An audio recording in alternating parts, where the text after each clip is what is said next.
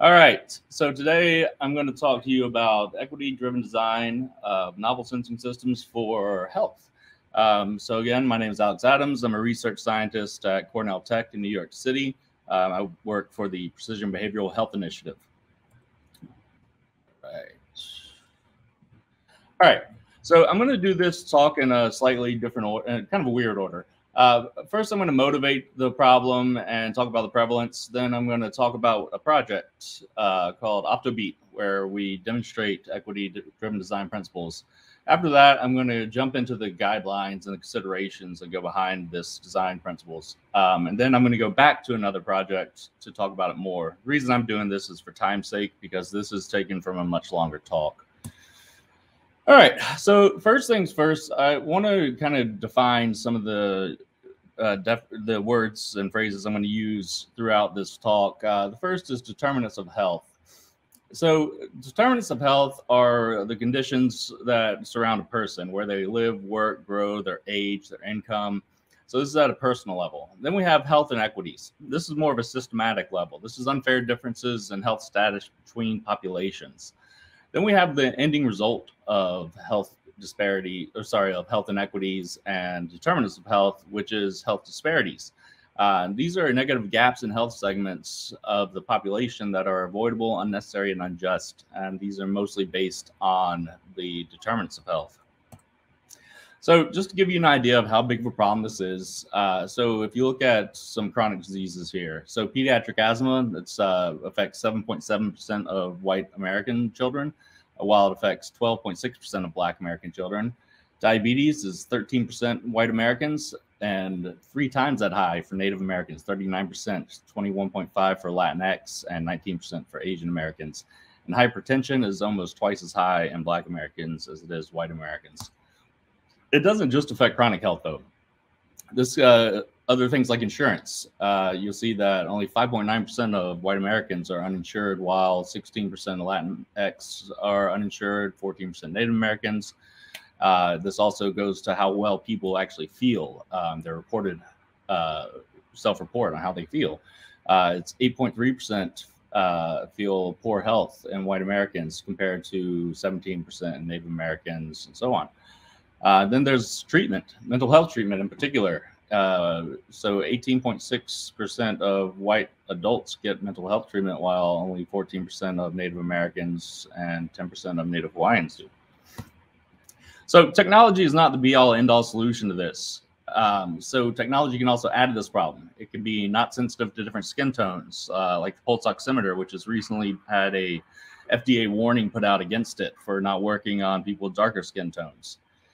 It can be not sensitive to different body types. So if you all know the BMI sensors you buy at the store that tell you your body fat index, uh, those actually don't work on obese people. They're made for normal body mass indexes. Uh, it can also not be uh, sensitive to gender or sex. It can add to existing stigmas in the case of substance use disorder uh, or mental health specifically. And it can be too expensive for a lot of people. And the price is probably the biggest inequity of all. So equity driven design is uh, can enable equitable solutions. Uh, so basically, what is equity driven design? It's a collaboration between scientists and domain experts in which you consider the determinants of a, and specific needs of a population it's intended for. It's intended to address both existing inequities and fill gaps in healthcare uh, through filling gaps in technology. And it covers both mental and physical health. So a good way to approach an equitable design uh, kind of scenario is to look at it through an ecological model. And this is Bronfenbrenner's ecological model. And what you'll see is that we actually start with the person in the center here when we're looking at the problem and all the different uh, determinants of that person.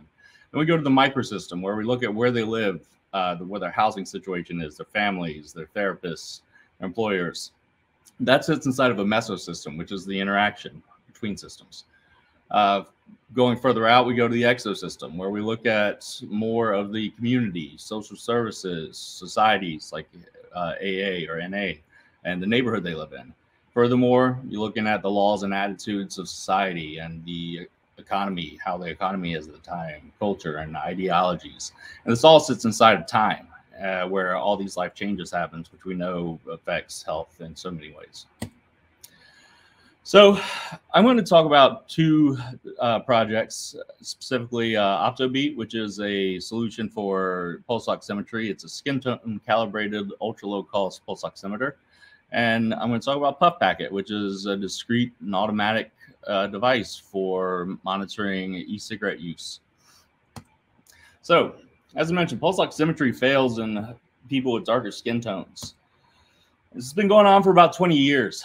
Um, and uh, unfortunately, it wasn't brought to light until the recent pandemic, uh, in which respiratory illness uh, became so pervasive. So, why did it fail? So, let's talk about how a traditional pulse oximeter works. It shines a couple of different wavelengths through the finger. Those wavelengths are compared using Beer-Lambert's law, and that gives you a ratio of oxygenated and deoxygenated hemoglobin. Uh, but what you can see here is that while they require this inverse uh, relationship of absorption to oxygenation, oxygenated and deoxygenated hemoglobin, underneath all that is melanin, which is the molecules that change our skin tone, and that is not linear. It's not even it's not consistent. So, how could we have a consistent measurement if we don't know that skin tone? So we started thinking about solutions. First thing we were thinking about is how to make this uh, pulse oximetry even more pervasive, more accessible. So what we thought we had a little computer with some lights and a camera on it in our pockets. And so if you look here, you can see the spectrum of the phone screen. And we can uh, see that we have this inverse relationship with uh, blue and red for oxygenated and deoxygenated hemoglobin. So this led us to build OptoBeat which is, as I mentioned, an ultra low cost smart tone, a smartphone based pulse oximeter with skin tone calibration. So, how does it work? So, basically, we have an app, shoots light through a little clip into a, a plastic lens.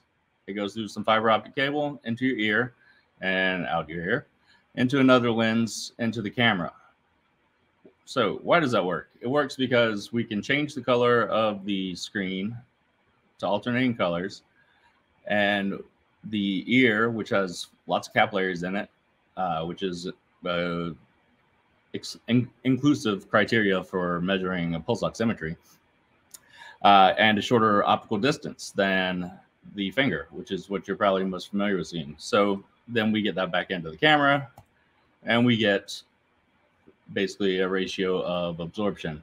So our hypotheses were that we can also classify skin tone with a smartphone camera, and this can be leveraged to calibrate pulse oximetry and then show that our pulse oximetry measurements are reliable down to even unhealthy levels as low as 70%. And this is a crucial criteria because other smartphone solutions have failed in unhealthy patients even below 95%, which really makes them not useful at all.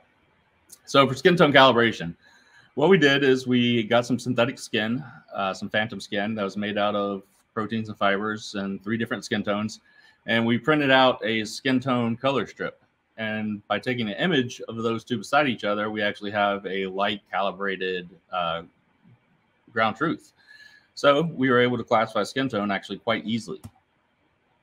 Uh, and the results were so basically, right here, what we did is we actually tested the uh, pulse oximetry measurements in each skin tone. And these proved our point, our hypothesis too, that uh, the pulse oximeters do not measure correctly in uh, different skin tones. And here you can see uh, with OptoBeat and with the Ground Truth uh, gold standard pulse oximeter that the skin tones did have a huge change in between types of skin tones.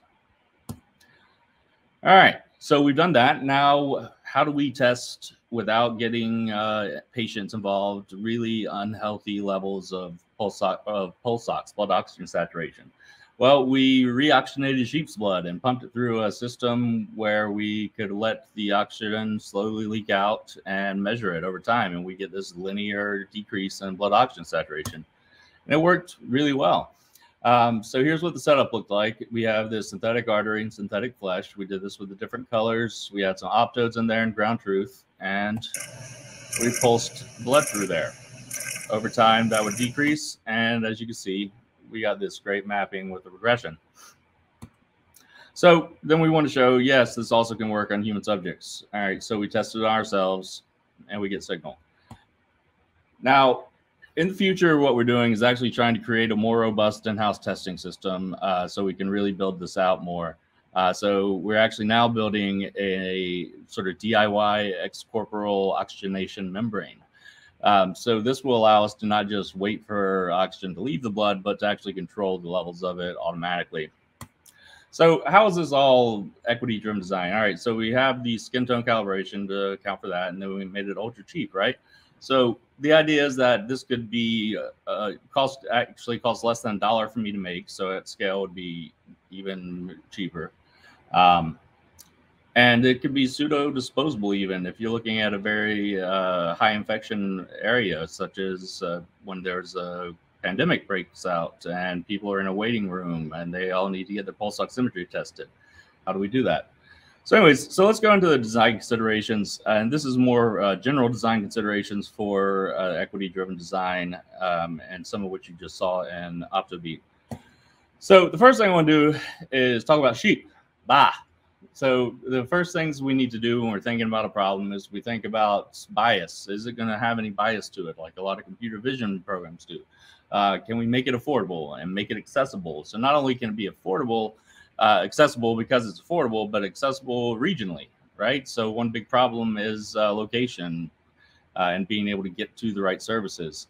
And we need to think about heterogeneity, like how well is this going to work across different groups? I mean, just because it's made to include a group that was not included before uh, doesn't mean it should only work for them, right? How do we make this work for as many people as possible? Uh, the next uh, design guidelines are called CUPS, which is cost benefit, utility, privacy, and stigma. So cost benefit means that the uh, cost of using it should uh, be outweighed by the benefits it provides. Uh, utility, this, uh, this device needs to have clear benefits over traditional non-technological counterparts. Privacy, this is private data, it's health data. You got to think about that. And similar to privacy, but very different at the same time, is stigma. So it should be discreet for use and not look like a medical device. Uh, this is particularly important, as I mentioned before, uh, with uh, substance use disorder, which is another health disparity, um, and for things like me- other mental illnesses where people aren't comfortable having others know that they uh, have it. So several years ago, my colleagues and I uh, published this paper, excuse me, uh, called Mindless Computing now, this was about interventions and feedback mechanisms, but these are the modified principles from that that are meant to be focused more on the actual sensing mechanism as opposed to feedback. So the first is reflexive, not reflective. So the input should be mindless. It's got to be easy to use, and I'll show you how we did that in the next project with Puff Packet. Uh, the they shouldn't have to reflect on their behavior as they do in self-report. They should be able to get that input automatically triggers should be the main focus for design of, of designers for technologies. And this can be literal, like in substance use disorder, we can monitor the use and presence of substances, or figurative, like people, places, and things that are around someone when they uh, are getting sick or when they are using a substance. And I'll talk a bit more about that in the next project. So this should work in parallel with their other lives, with their daily lives. They should not have to do another task so uh, most of our technologies right now are what we would call reflective.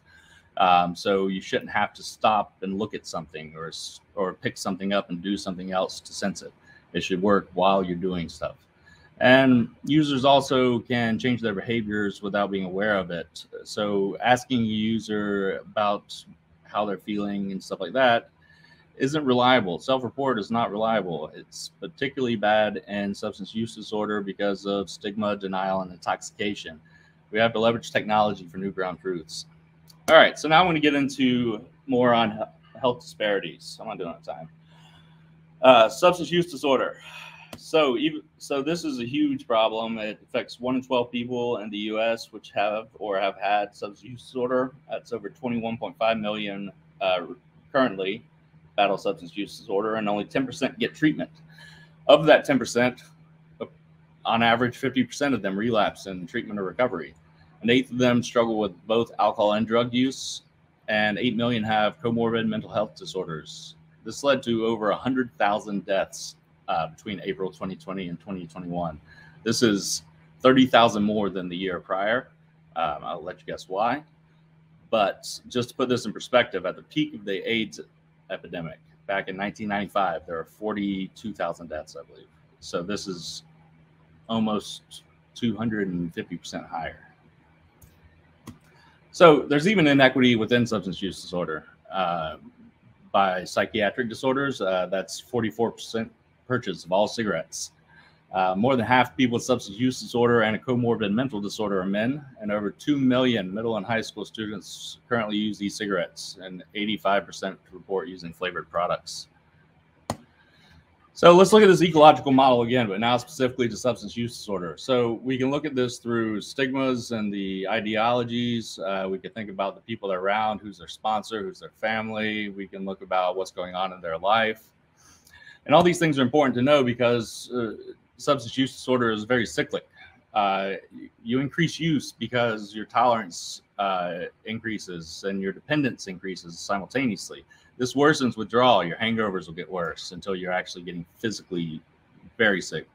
Uh, then this causes an increase in cravings because uh, at this point you're getting to where this is the only thing that makes you feel good, which increases use, increases tolerance, worsens withdrawal, etc.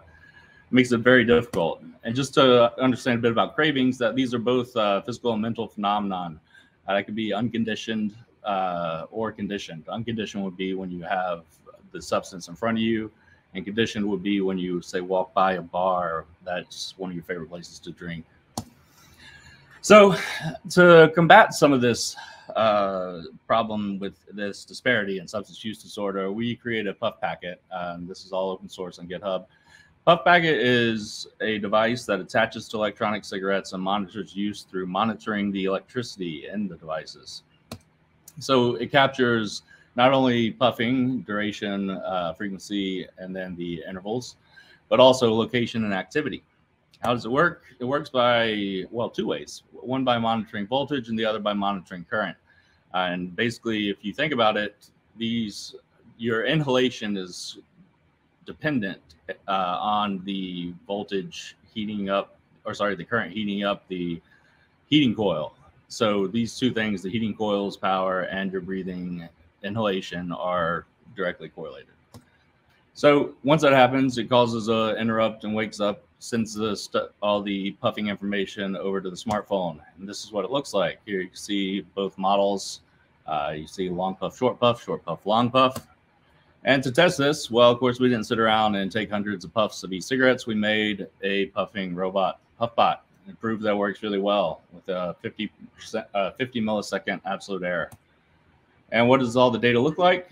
It looks really interesting. This allows us to get much more intuition about how people are using e-cigarettes and better equips us to help them stop using it. So there you can see uh, Cornell Ithaca, where Puff Packet was. Uh, Bill and Melinda Gates Hall is where the majority of the puffing went. We also did an eight-day study with one participant to see them using it, and you can see they mostly used it when they were driving or walking or stationary, not while they're cycling. So you can do a lot of different analyses with this. Uh, you're going to understand how puffs are distributed throughout the day, throughout the week. Uh, this is a very important metrics in cigarette analysis, and we didn't have such a thing for uh, something that's less discrete as puffing on an e-cigarette. So the time to puff is an important metric. For example, if you can uh, first time to first puff, actually. So if you could increase the time before their first puff, then you increase the chances of them not puffing at all. So We've also recreated uh, the PuffBot to a quick little puffer, just for your quick test. And then for the real big studies, we made Puff Daddy. Puff Daddy likes to chief on cigarettes and monitors volumetric flow and pressure. And the reason we did that is because with diaphragm pumps and PuffBot, you always get this cyclic noise, where with Puff Daddy, you get much more lung-like behavior. And to conclude, there's a picture of a Lego guy banging on a phone.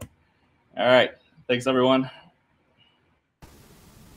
Awesome. This is all such important work, Alex. Thank you so much.